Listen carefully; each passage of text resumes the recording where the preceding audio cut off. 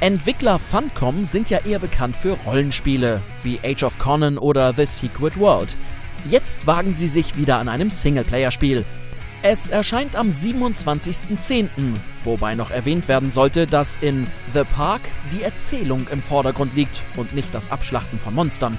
Es wird wohl seinen Platz neben Gone Home und Dear Esther einnehmen. Hey, ein Point-and-Click-Adventure-Strategiespiel? Wie nennt sich das? Outpost 13. Oh, schön. Das Spiel ist eine Hommage an Kultfilme wie Alien, The Thing, Predator und den Akte X-Film. Na, wenn das mal nicht nach Unterhaltung klingt. XCOM-Entwickler Julian Gollop bringt nach der langen Early Access-Phase Chaos Reborn an den Start. Ab dem 26.10. könnt ihr das durch Kickstarter finanzierte Remake von Chaos The Battle of Wizards erwerben. Kämpft auf Hexfeldern gegen eine Vielzahl von Fantasy-Kriegern und Magiern, ob im Koop oder im Einzelspieler. Für Fans der Reihe Darksiders und Divinity gibt es ab dem 27.10. eine Neuauflage für die Xbox One und die PS4. Darksiders 2 Definitive Edition und die Divinity Original Sin Enhanced Edition bekommen nicht nur einen neuen Anstrich, sondern auch noch DLC spendiert. Der Charme von Limbo und der Look von Toby the Secret Mine. Diese Einflüsse sind in dem Spiel Otto and Albert vorhanden, welches demnächst erscheint. Auf der Suche nach Alberts Schwester Magical Bunny müssen kleine Puzzle und Rätsel gelöst werden. Das Schema dieses Spiels ist jetzt kein neues, aber wer weiß, was sich hinter der Geschichte verbirgt. So, was kommt noch? Ah, ich kann schon wieder dieses Schrift von diesem bescheuerten Praktikanten Steffen nicht lesen. Ja, was ist das? Ach so, etwas über Halo 5. Na, ist jetzt auch nicht so geil und auch noch so ein langweiliger Text. Oh, das kann die Matz doch besser zu Ende führen, ja? Hm, aber da war doch noch was anderes. Ähm, äh, stimmt! Ja! Der Moritz bleibt treu. Moritz bleibt treu ist zu Besuch. Das ist doch viel, viel geiler. Ein kultivierter deutscher Schauspieler, der Wisu Banane salonfähig gemacht hat und bestimmt auch Fragen beantworten kann, wie wem gehört der Schädel bei Hamlet? Ähm, außerdem, Moritz, wollte ich dir noch sagen, also ich bin auch ähm, Sprecher und, und, und Schauspieler. Ich habe, äh, ja, viel Spaß. Das waren sie also und die Spiele, die diese Woche rauskommen und auch unser Ingo. Schön, dass wir uns hier noch leisten können. Ja, tun Nachdem wir er jetzt in der Werbung angekommen ist, sind die Preise natürlich nach oben gerückt. Gut, ich habe aber, ich hab aber gedacht, dadurch, dass du ja dieses Webburger-Döner-Ding gekauft hast, ist all unser Geld weg.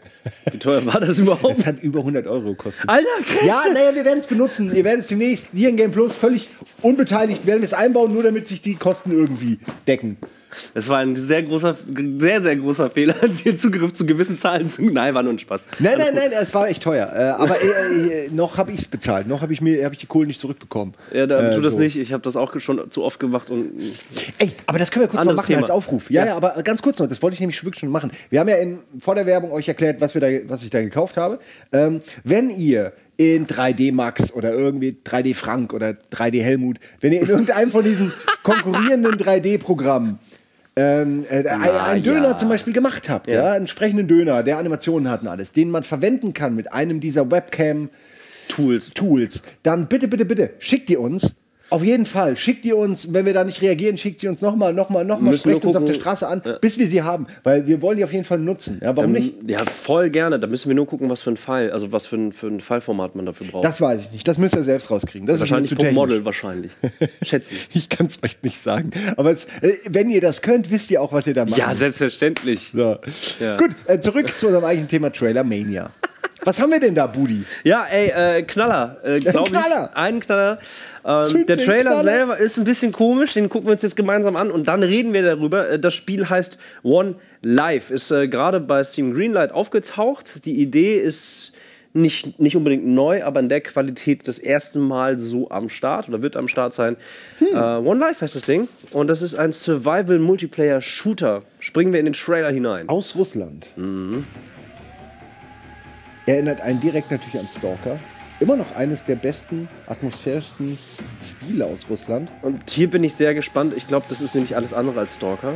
Und warum das so ist, erklärt uns gleich der Trailer auf eine klassische Art und Weise. line between game and reality is blurred. There is no room for a single mistake. You have only one life. Team with brothers in arms. Take everything you can. Uh huh. Take captives. Let me out. Take justice into your own hands. Son of a... I'm gonna kill you, you hear me? Pimp your truck. Or raid others. But remember, if you die, you'll leave this game forever. Unglaublich. Ey, also der So frech eigentlich. So frech. 10 Dollar für ein Leben. und das weiß ich halt nicht. Es gibt mehrere Spielkonzepte, die bereits in diese Richtung gehen. Ja, und, allein äh, hunderte von mir. Ja, die, die ich schon äh, immer wieder versucht habe, Leuten zu verkaufen, wo sie alle sagten, nee, ist eine dumme Idee. Das, ja. womit, womit die Entwickler. Zu Russen hier- hätte ich gehen sollen. Ja, so ist es. Ja, sie nennen das Genre Perma Permadeath. Und das alleine finde ich schon wieder so lustig. Das heißt nicht, es ist nicht ein Permadeath, also nicht ein, ein Soul-like Spiel, sondern es ist Perma Permadeath. 10 Dollar kostet das Spiel oder wird das Spiel kosten auf Steam. Und dann hast du nur ein Leben. Es ist, es ist nicht ganz so scharf, wie es jetzt hier im Trailer natürlich auch dargestellt ist. Ähm, und ich will kurz darüber reden gleich. du auf kannst nochmal 10 Dollar bezahlen. Du kannst theoretisch halt dir noch einen Steam-Account machen und dann darüber nochmal 10. Also ne, so kannst du halt nochmal ins Spiel Ach, ich reingehen. brauche sogar noch einen eigenen neuen Ja, Steam-Account. der ist gesperrt auf deinem Steam-Account. Und, und jetzt, aber da, jetzt kommt die Entschärfung, äh, wenn du sozusagen stirbst, hat derjenige, der dich abgeschossen hat, so habe ich es auf jeden Fall verstanden, so habe ich es auch nachgelesen, derjenige, der dich abgeschossen hat, ähm, hat, so, hat eigentlich die Wahl über dich. Der kann dich ähm, in, in Gefangenschaft nehmen, der kann dir sozusagen Quest geben, von wegen besorgt mir das und das und dann bist du wieder frei.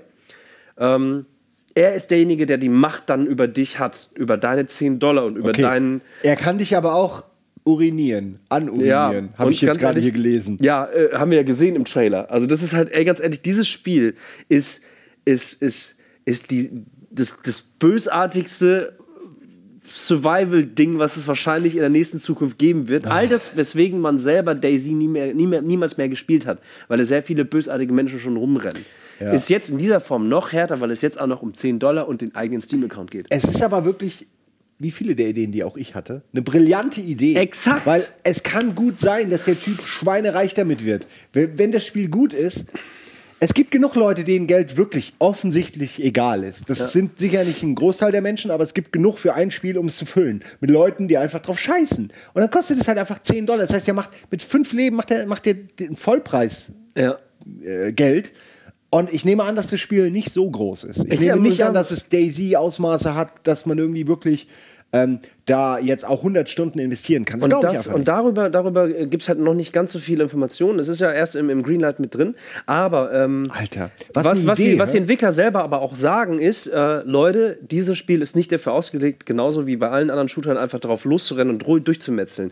Äh, ja, es gibt dieses, dieses, wenn du jemanden triffst, also wenn du sozusagen aggressiv und bösartig spielst und dabei auch noch gut, dann kannst du dieses Machtgefühl haben.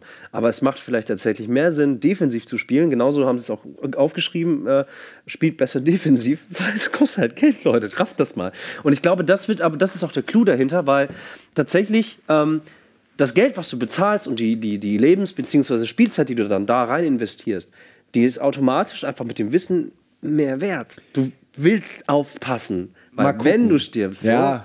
so, Ich Das ist der Reiz daran. Interessant, ja. Ich bin, Ja, bin gespannt. das Spiel muss einem- gut sein dabei. Genau. Ich bin sehr gespannt, mit einem Account auf andere Spieler zu treffen und dann einfach zu sehen, wie die reagieren, ob, die, ob denen es egal ist, ob die, sage ich mal, auch vorsichtig spielen. Ich glaube, dass die Figuren, auf die man trifft, dadurch ein bisschen anders reagieren. Ja. Mhm. Das glaube ich schon. also ich glaube, Aber ich glaube, ganz viele werden dich nicht zum Sklaven machen, sondern werden dir auf, dir auf den Kopf pinkeln und dann hast, sind deine 10 Dollar weg, weil das ist einfach zu, Und du kannst immer wieder- lustig aus Ja. dieser Reaktion heraus. Ich glaube, das wird eher passieren. Ich glaube, man wird ziemlich vielen Leuten werden, werden echt sauer werden. Ähm, ich frage mich sogar, wie das geht, weil du kannst bei Steam ähm, Spiele auch zurückbringen. Was, das weiß ich nicht. Doch, Gut. doch, doch, du kannst. Ja, äh, nee, ein also ich mein, ich Du weiß nicht, wie die das einfach machen ein wollen. Spiel zurückgeben. Kannst sagen, ja, hat mir nicht gefallen. Ähm, Wusste ich überhaupt und dann nicht. kriegst du die Kohle wieder. Also es geht nicht, wenn du jetzt 200 Stunden da auf der Ja. Uhr hast, dann nicht. Aber ähm, ich habe mit 20, 30 äh, Minuten Spielen habe ich das schon gemacht. Ach, krass, Wenn du halt merkst, fuck, es ist wirklich, ich hatte mal irgendwie äh, Kampf der Krustentiere auf Deutsch, jetzt irgendwie Battle of Crustaceans, irgend so ein ganz komisches, wo wirklich Garnelen gegeneinander kämpfen. Es war so schlecht, dass ich das sogar, ich habe es zurückgegeben und habe gesagt, es ist einfach, tut mir leid, es ist zu schlecht und habe die Kohle wiederbekommen. Ähm, also es, es geht. Aber hier könnte ich mir vorstellen, dass das von vornherein Ja, das muss ja, das muss ja, Muss ja irgendwie. Genau, es muss ja, äh, das macht das Spiel ja. Oh, ja, ja, ja. Wo kommen wir dahin? Dann können wir jetzt bald endlich mal meine Idee machen. Liebe Spieleentwickler, könnt ihr mir gerne klauen und später so tun, als hättet ihr euch das selbst ausgedacht. Ego-Shooter, wo Munition Geld kostet, wo jeder Schuss einen Cent kostet. Warum denn nicht? Es ist so einfach. Liebes Big Point, ihr habt doch sonst nichts Gutes. Und ich war schon bei euch. Und da habt ihr gesagt, es ist eine dumme Idee. Und wenn ihr die Idee jetzt macht, werde ich euch auch nicht böse sein. Macht's doch einfach. Aber wie ist das? Das ist eure einzige Rettung.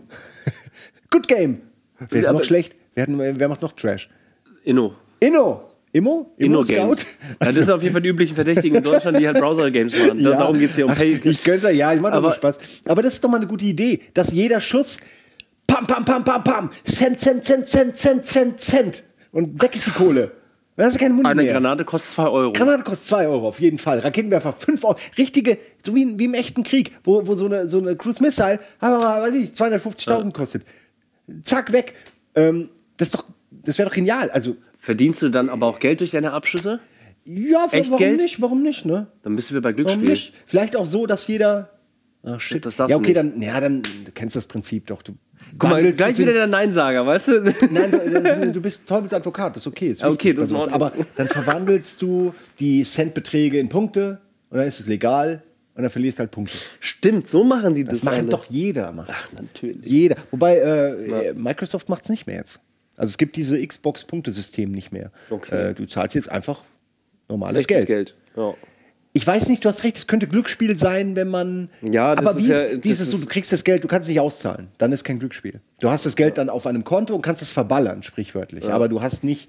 Du musst halt kein Geld mehr reinstecken ins Spiel, wenn du viele Leute erledigst und deren Geld dir grapscht.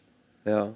Das ist dann wie Munition zurückkriegen halt, ne? Ja. Es ist im Grunde Ah, auch nicht, verrückt, genau. ey. Nur, Ja. die, nur die sehr ist, faulen äh, Leute würden halt dann Geld zahlen. Es ist dann Perma, Perma Munition. Permunition. Perm, Permunition. Pure, pure, Permunition. Trademark. Hier, da ist, da ist es registered und hier steht noch so ein TM. Permutation. Per Permunition. es tut uns leid, es ist vielleicht nicht die Folge, die ihr erwartet habt, aber ihr seid auch nicht das Publikum, was wir gerne hätten. so. Ähm, Sehr gut, Alter. nächster Trailer, ganz schnell. Kommt sehr schnell, weg, überblenden. Los, Weg. los geht's. Ein wunderbares Spiel. Ein gute Laune-Spiel. Hard West heißt es. Oh, Wir da sind sehr gespannt. Rundenstrategie im Stil von XCOM. The key from the manager. Second, the safe. There was a catch, however. Demons. Ah, toll. Rundenstrategie mit Zombies. Oder Monster.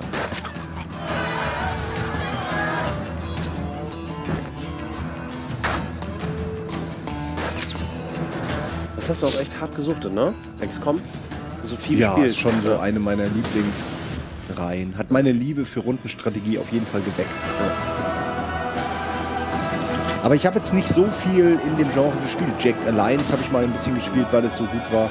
Das hier könnte ich mir vorstellen, obwohl ich dem Western-Setting nicht immer so zugeneigt bin. Ist halt alles auch schon sehr oft da gewesen. Aber natürlich nicht in dem, aus der Perspektive. Ja, zumal es ja irgendwie dann doch irgendwie ins Richtung Übernatürliche geht halt, ne? Dämonen, keine Ahnung was. Und Finde ich aber echt okay. Aber Finde ich okay, weil Western ist halt sonst, immer. sonst, sonst ist es nicht viel Spieltiefe, glaube ich, wenn du nicht da irgendwie noch irgendwie Magie und keine Ahnung, Monster da reinbringst. Sonst wäre das ein bisschen langweilig wahrscheinlich. Ja gut, so, so, typische Duelle, Colts gegen Colts, acht Cowboys gegen acht Banditen wäre ja durchaus machbar. Aber ich finde es auch so besser. Ich freue mich drauf. Hard West. Hard West, ein Titel, der kommt am 4. November 2015 raus und wurde gebaut von den Leuten Creative Forge Games. Und Creative Forge Games, falls ihr gerade zuguckt, Simon hat eine sehr gute Idee, auf die wir gerne nochmal eingehen könnten, aber machen wir zu einem anderen Termin. Habe ich vergessen. Ja, stell dir einfach mal Hard West vor, für jeden Schuss musst du einen Cent bezahlen. Na, yes, perfekt. Siehste? In Strategie ist es noch besser, weil da brauchst du diese bestimmten Waffen. Und da heißt du nicht mehr Hard halt West, kaufen. sondern Hard Cent. Katsching.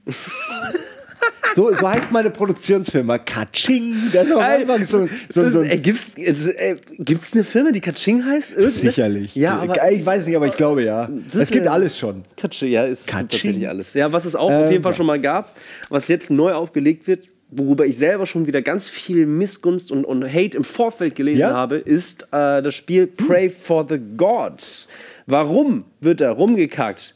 Weil es sehr, sehr, sehr doll an eines der wahrscheinlich einflussreichsten und auch geilsten Spiele und zeitlosen Spiele äh, nicht nur erinnert, sondern sehr stark erinnert.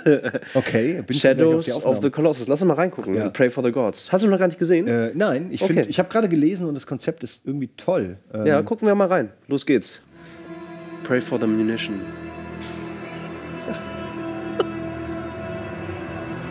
Ich finde es aber gar. Oh, das ist doch toll. Ja, warte, warte, warte. Ist mir doch egal, ob es auch. Ich Warte, warte, warte, Shadow warte doch. Colossus. Ja, ja. Wie kann man das nicht gut finden?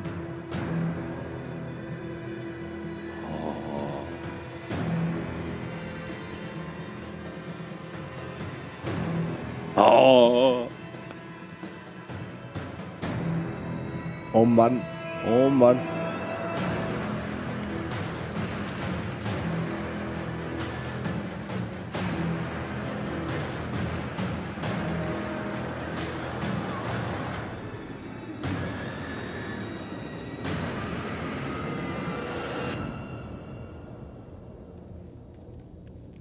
Ganz gut, ne? Äh, ich ich verstehe nicht, warum man sich da dann beschwert, weil äh, Team Ico macht kein Shadow of Colossus 2.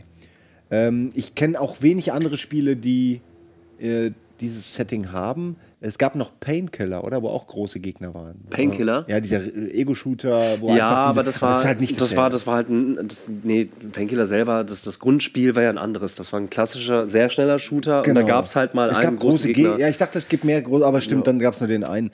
Ähm, und mir Und fallen God of War vielleicht noch mehr nicht ein. God of War auf jeden Fall. Ja, ja, aber- aber da ist es auch nicht Kernziel. Genau. Also es mir klar auf der einen Seite kann man sagen, ja, da, da, da will jemand halt auch, sich irgendwo an, an einem erfolgreichen Ding äh, mitverdienen. Mhm. Aber die stecken ja, wird ja auch gesagt, das sind drei Mitglieder, drei Team, also drei Entwickler, die nach Feierabend dieses Spiel machen Mhm. und dafür sieht es, finde ich, einfach.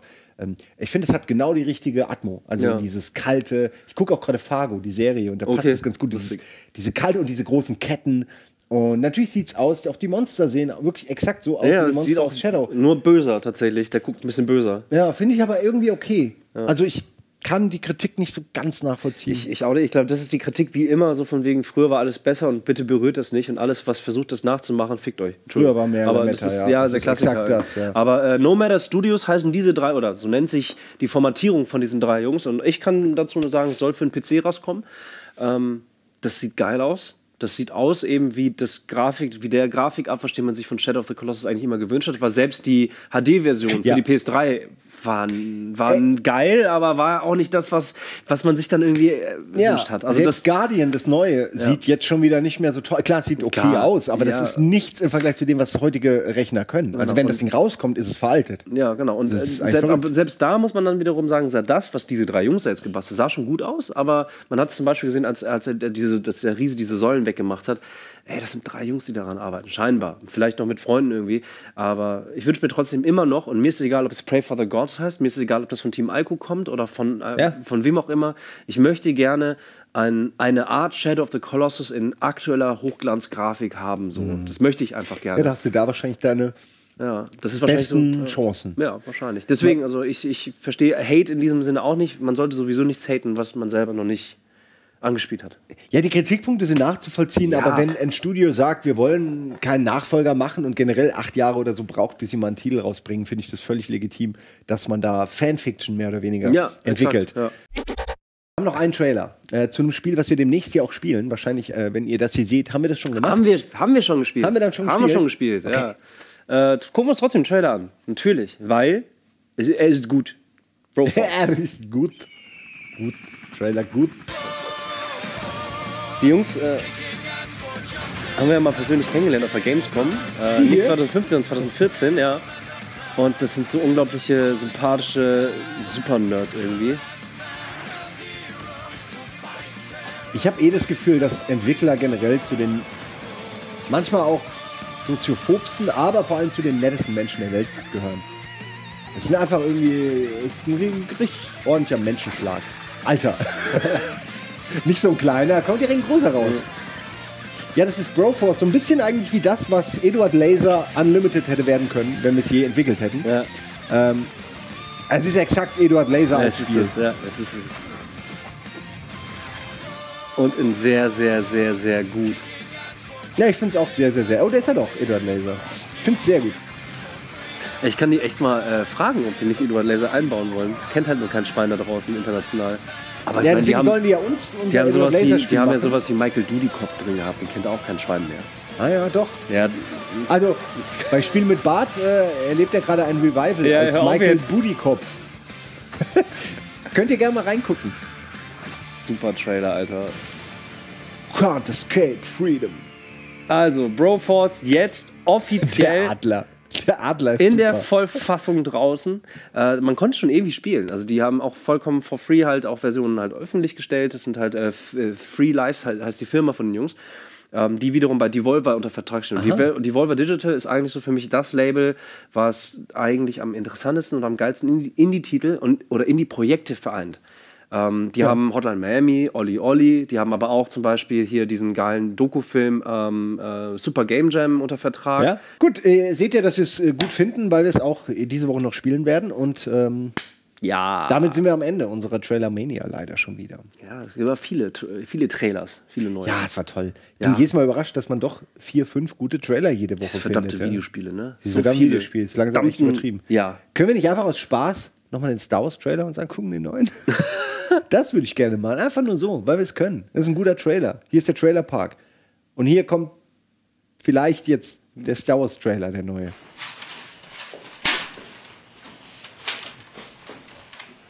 Ich weiß, wie es jetzt Panik steht. Scheiße, wo ist der? Nee, es war auch zu, das kann man nicht machen, sowas kann man nicht erwarten. Vielleicht hat ihn jemand reingeschnitten, vielleicht auch nicht. Das war jetzt ein bisschen, haha, da haben wir ein bisschen die Regie gef... gef da fängt er an, ne? So geht's los. äh, da haben wir die Regie gefoppt. Ähm, So, wir, wir kommen geht's. zur nächsten Rubrik. Äh, Und zwar heißt die Nachgefragt.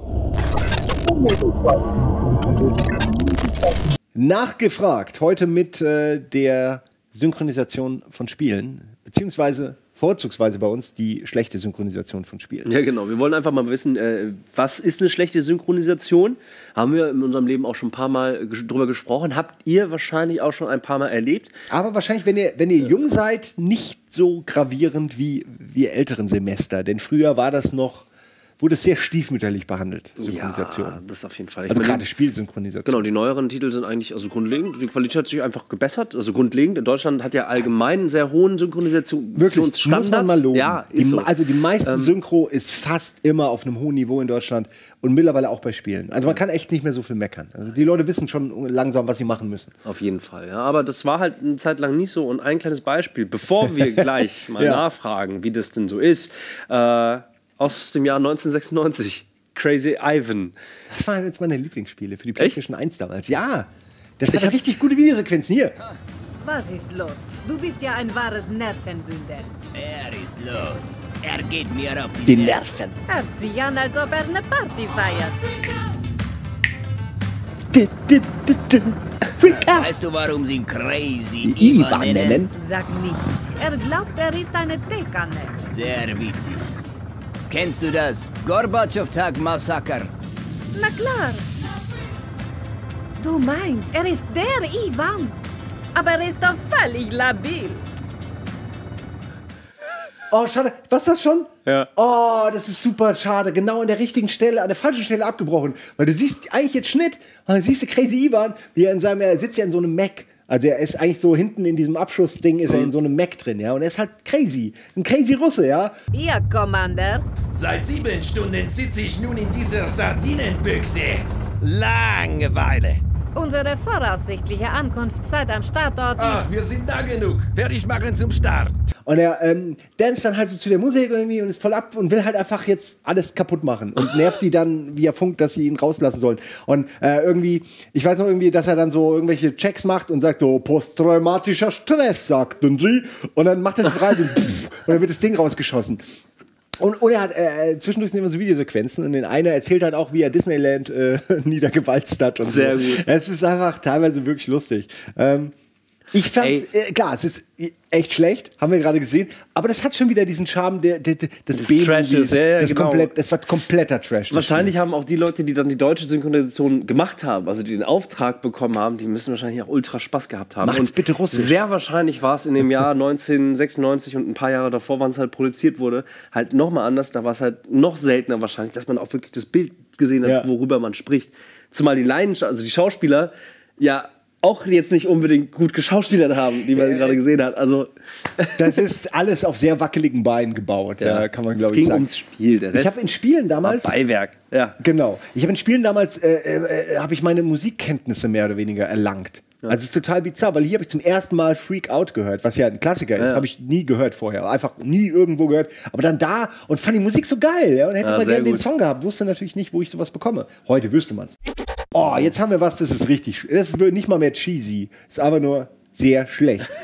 Habe ich in Time der Arcade Crisis. gespielt. Ja. Ein Jahr später und eine ganze Generation schlechter als das, was wir eben gesehen haben. Time Crisis aus dem Jahr 97. Viel Spaß. Eine Entführung. Es ist Rachel, die Tochter des Präsidenten. Rachel! Sie müssen ins Schloss und Rachel retten.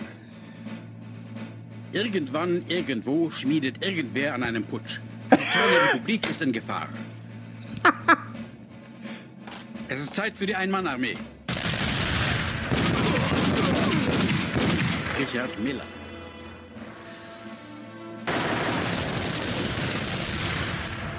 Jetzt ist sie wohl schon tot. Bleib weg! Rachel McPherson. Ah, ja, ja, ja, das ist ja, ist das ein Crap, ey. So super, Alter. Rachel. Der irgendwo, irgendwann, irgendwer sch- schmiedet irgendwer an einem Putsch. Super. Das ist Genial. Stories gesetzt. Story ist gesetzt. Rachel. Und Mehr brauchen wir wirklich für Time Crisis auch nicht. Es ist eigentlich, ich weiß bis heute die Story nicht. Rache für Rachel. Rache für Rachel, das wäre besser gewesen. Ja, echt, ey. Äh, wow, da fragt man sich echt, wer hat das genehmigt? Ein Jahr später wurde es nicht besser. Aber immerhin ein Spiel, was ganz gut war. Ja, Ähm, habe ich, hab ich selber auch nur beobachtet. Also zu diesem Zeitpunkt äh, habe ich, Ja. glaube ich, nur noch Counter-Strike gespielt. ja, Nee, ich hab- und StarCraft. Ja, es geht um Baldur's Gate und ich habe diese Top-Down Diablo Wannabes nie gemocht. Ich habe mich da nie wirklich äh, wiedergefunden. Auch Neverwinter Nights und Diablo. Ich habe Freunde alles nie gehabt, mein Ding. Freunde alles und nur so Freundinnen, die haben das total vollkommen verinnerlicht und eingesaugt. Ähm, aber von der schlechten Synchro haben sie nie gesprochen. Schauen wir mal Das rein. stimmt, Hab ich höre das auch zum hab ich, hab Mal. ich nie gehört. Bin, bin ein bisschen gespannt, weil ich habe gehört, das war immer super. wie erledigt. Für dein Geschwafel habe ich keine Zeit hier, ne? Was? Ja, hör mal, also eure Arroganz hier ist äußerst geschmacklos, wohl? Nee. Nein. Da bin ich mir jetzt nicht sicher, ob das einfach nur eine schlechte Mod war oder ein Easter Egg der Entwickler, der deutschen Synchronisateure. Ja. Oder ist das der Standard, den wir in Baldur's Gate haben? Das glaube ich nicht. Können Sie Wahrheit und Lüge unterscheiden? Dazu müssen Sie über Ihr Denken hinausgehen. Ja. Also wenn, dann ist es... Ihr, Jonathan Frakes, ist, ist diese. ich, ich krieg's nicht hin, aber ihr wisst, was ich sagen wollte. Ja. Ist Ja. diese Synchro wahr oder haben wir uns da einen kleinen Spaß erlaubt? Ja. Ihr, Jonathan Frakes. Sehr gut. Sehr gut. Ja, Entschuldigung. Ja, wahrscheinlich ist es eher auch ein Spaß, aber äh, ist ja schlimm. Das war wirklich äh, unterirdisch. Aber jetzt Aber wirklich, ich glaube, so denkt, das, oh ist, das, ist, das ist, war schon wieder okay. Also auch bei Rache, glaube ich, war es eher ein Spaß. Aber Aber was jetzt kommt, man. oh Gott, ich weiß noch, kurze Geschichte, ich habe Ja. ja bei der Funimation damals gearbeitet. Ähm, das war so ein lustiges Spaßmagazin über äh, Games und die waren halt sehr, also es hieß immer so, eigentlich müsste man die Funimation neben das Mad Magazine legen, weil die halt einfach nichts ernst genommen hat und auch, ach, scheiß auf Wertungen, einfach alles, Hauptsache lustig, ja. Fand ich immer sehr cool, war immer mein Lieblingsheft. Und die hatten ein Vierseiter äh, über Metal Gear Solid mit einem Einseiter Comic, so ein, so ein Fotoroman, über die Synchro von Metal Gear. Ach, geil. Und aufgrund dieses sechs Seiten Specials, das Spiel hat richtig gute Wertung bekommen, aber sie haben halt einfach nichts anderes gemacht, als sechs Seiten lang die Synchro zu haten, die deutsche.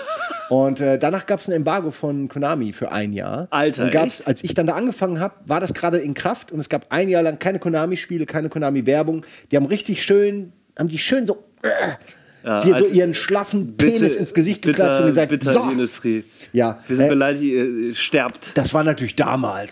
Als Heutzutage die böse ist alles Industrie anders. noch ihre Macht äh, ausgenutzt hat. Heute ist es ja ganz anders. Boy, that escalated quickly. Äh, gucken wir uns noch mal an, den Trailer oder eine, eine Szene aus. Kampfführer Liquid Snake. Liquid Snake. Der Mann, der Ihren Codenamen teilt. Ausrüstung und Waffenbeschaffung vor Ort. Jawohl. Diese Operation ist top secret. Erwarten Sie keinerlei Unterstützung von offizieller Seite. Ja, so war die Synchro. Erwarten Sie keinerlei Unterstützung. Hier durch. Da bin ich sicher. Ich muss mich um meine lästige Aufgabe kümmern. Hier Snake. Colonel, hören Sie mich. Kein Problem. Wie sieht es aus, Snake? Der hintere Lift scheint der einzige Weg nach oben zu sein. Wie erwartet. Unglaublich, oder? Das war ein Triple-A-Spiel, einer der wichtigsten Titel bis heute von Konami und so eine Synchro. Wow, hoffentlich hat da jemand seinen Job verloren. Das ist wirklich meine ehr ehrliche Meinung, weil das ist einfach so wenig Liebe für so ein geiles Spiel. Kojima hätte direkt sein, sein äh, Laserschwert rausgeholt. Wenn er denn irgendwie. Deutsch verstanden hätte. Ja. Und ich finde, das versteht man sogar, auch Das wenn man nicht glaub- Deutsch ja. versteht, merkt man, dass da einfach komplett, Ja. also äh, wirklich in, in die, ins Dixie-Klo. Gesynchronisiert wurde. Ja. Komm, wir haben nur einen. Ich bin sehr gespannt. Es war wirklich schlecht, oder? Also da sind wir uns, glaube ich, alle einig. Auch EA, Konami, da seid ihr uns alle einig. Das war richtig schlecht. Äh, Kommen wir zum nächsten Titel einfach mal so. Und da bin ich jetzt sehr gespannt. Äh, Half-Life 2 The G-Man. Hm? Echt?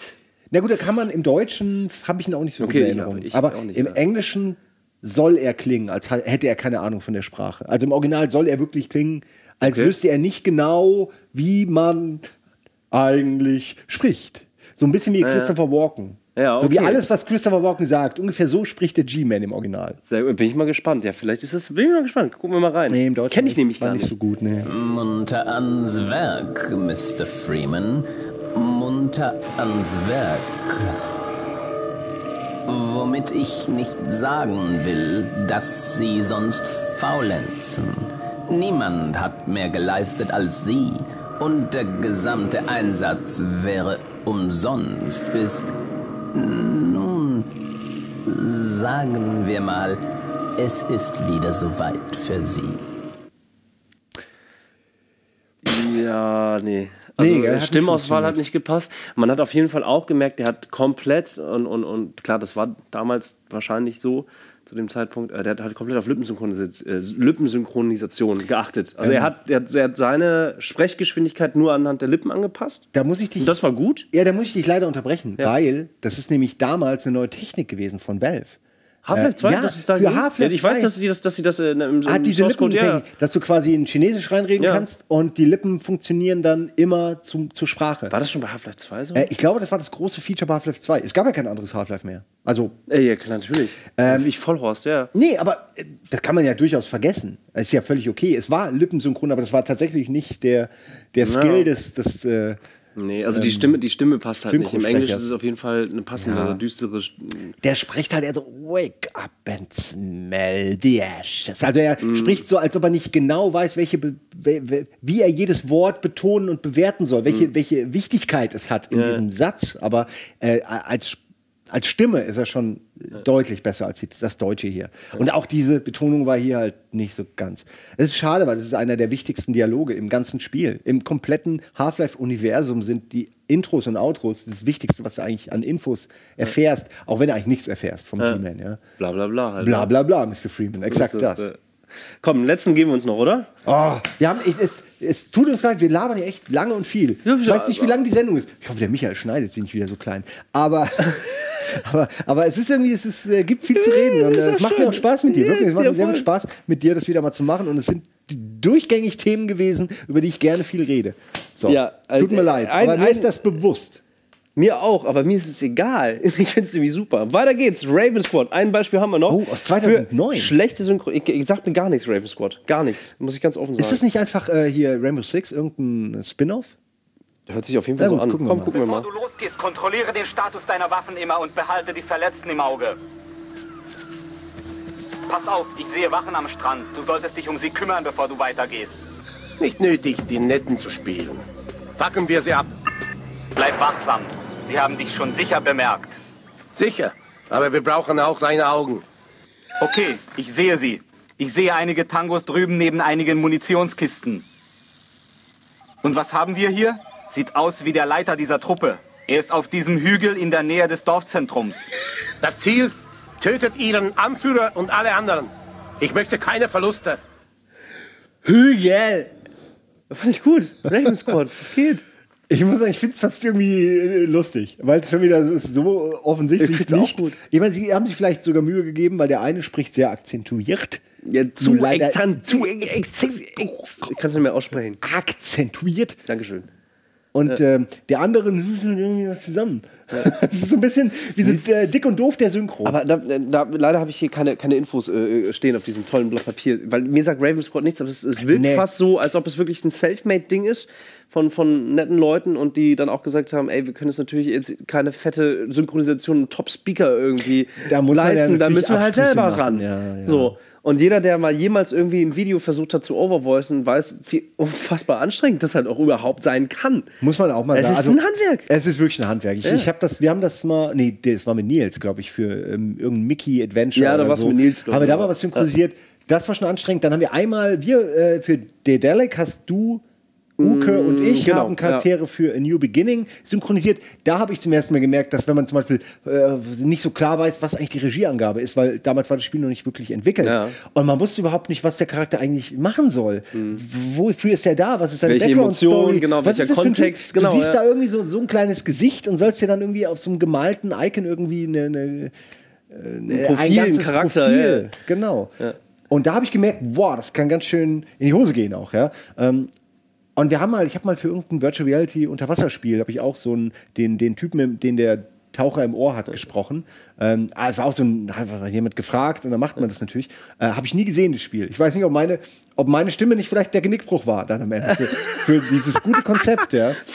Aber du merkst schon, du sprichst das dann ein und versuchst dir das dann anzuhören und es wirkt selten so, dass du denkst, ja, das ist eine authentische Reaktion von jemandem, der gerade Angst um seinen Taucher im Wasser hat oder so. Sondern Man muss es wirklich mit viel Mühe und Energie immer wieder machen oder halt können. Ja, also es ist Also auf jeden ist Fall nicht so, immer als ob das einfach ist. das Leichteste und das Einfachste ist es, über andere Leute zu lachen und zu sagen, boah, ist das scheiße. Wenn man es dann aber tatsächlich selber macht, dann kann man das immer noch tun. Man kann immer noch sich über andere abfacken, aber man versteht vielleicht, dass es ein bisschen schwer ist. Deswegen können wir es bei billigen Spielen völlig akzeptieren und drüber lachen und Ja. mit den Entwicklern schmunzeln. Ja. Äh, aber bei, bei bezahlten, teuren Spielen, wo man dann irgendwie merkt, da wurde sich einfach nur für die deutsche Synchro keine Mühe gegeben, kein Geld in die Hand genommen, äh, dann kann man das auch anprangern, finde ich. Weil die verdienen genug Geld. Du zahlst ja dieselben 70 Euro, also heute nicht mehr, aber damals, wie für ein US-Metal Gear Solid. Also solltest du auch dieselbe. Qualität Ja. theoretisch oder die Immersion oder was auch immer. In dem Spiel werden kriegen, 40 Stunden gelabert. Äh, In der Qualität, das kannst du dir, das kannst du doch niemandem antun. Das nimmt ja die komplette Atmosphäre raus. Das nimmt ja den kompletten Ernst aus dieser doch sehr ernsten Reihe, ja. Aber egal. Ich, ich frage Es ist zehn Jahre her, man kann auch aufhören. Aber es ist immer noch scheiße. Fast 20 Jahre her und ich bin immer noch sauer.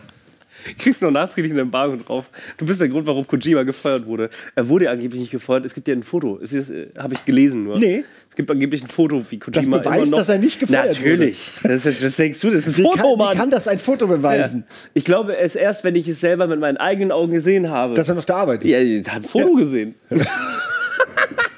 ja, diese. Sprichwörter von früher, die, die sind obsolet, ne? Funktioniert nicht mehr. Nee, geht alles nicht mehr, gell? Ja, Heute muss man alles, man muss mal Sprichwörter 2.0, muss Ja, man sich ausdenken. Genau, ja. Sachen, die Der die Winter ist heutige erst da, wenn die Welt Steckrübe im Topf ist. Oder wie war das?